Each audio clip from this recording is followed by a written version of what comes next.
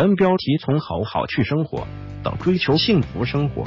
我家那闺女一月五日晚十点开播湖南卫视首档亲情观察成长励志节目。我家那小子自二零一八年夏天与观众见面以来，好好去生活的概念就给观众留下了深刻印象。四个小子的独居生活状态，也和母亲的亲情关系引发全民讨论。有了对独居男艺人的生活状态以及对母子关系的放大观察。为了更全面了解当下年轻群体的生活现状。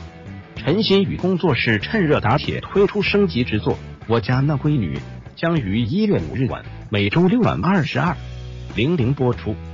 主持人吴昕、运动员傅园慧和文娜和演员袁姗姗倾情加盟，四位闺女的爸爸和全国观众一起观察闺女们追求幸福生活的独居生活，从好好去生活。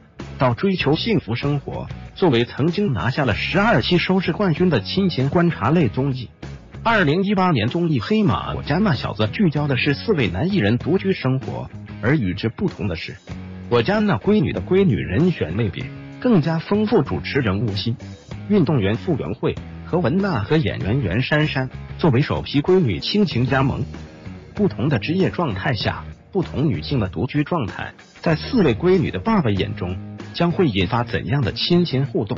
情感观察员李维嘉、大张伟、欣然继续和爸爸们一起聊一聊爸爸和女儿的温暖故事。作为打造聚焦青年人群独居生活、亲情情感共鸣节目《我家那小子》的陈新宇工作室，在做完《亲爱的客栈》第二季后，又马不停蹄的启动了小子姊妹篇《我家那闺女》。在延续好好去生活主题的基础上，我家那闺女聚焦独居女性，重点观察父女关系。在继那小子之后，希望借闺女们的生活，传达尤其是女性群体追求幸福生活的概念主题。从我家那小子到我家那闺女，两档节目始终围绕独居生活做出真实展现和不断探索，能够影响到节目观众，从而引发个人生活思考。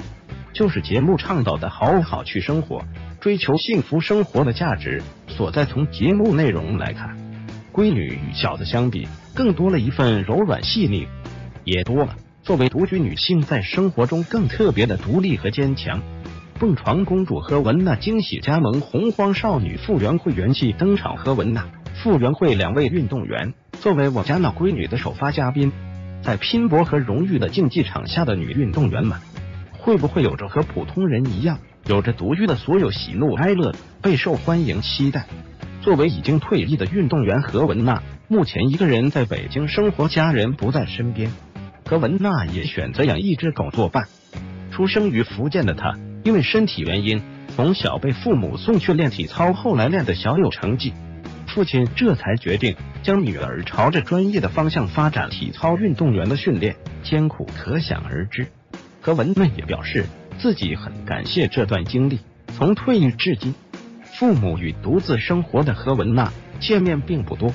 第一次通过我家那闺女的镜头，完全进入女儿的独居生活。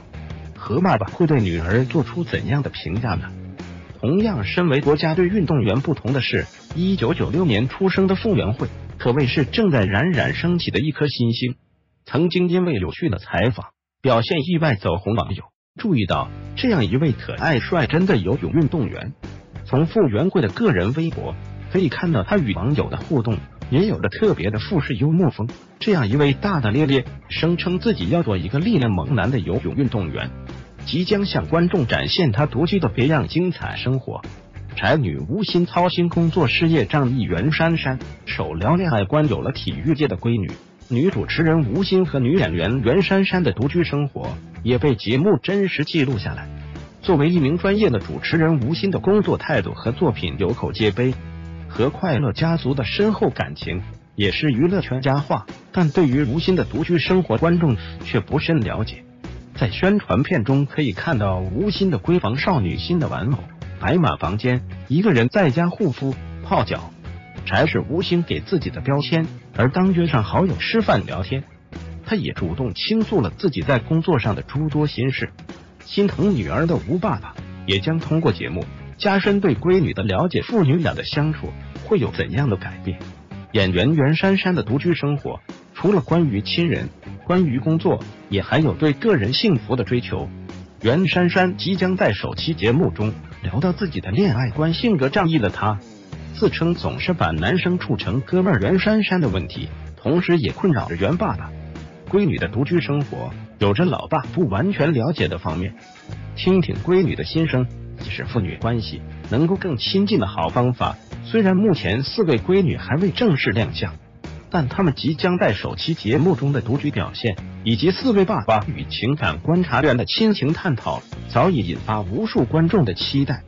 退役运动员和文娜的日常依旧离不开拉筋。体坛新星傅园慧个性率真，但也偶尔发脾气。演员袁姗姗邀请好友，主动聊起婚姻家庭甚至育儿话题。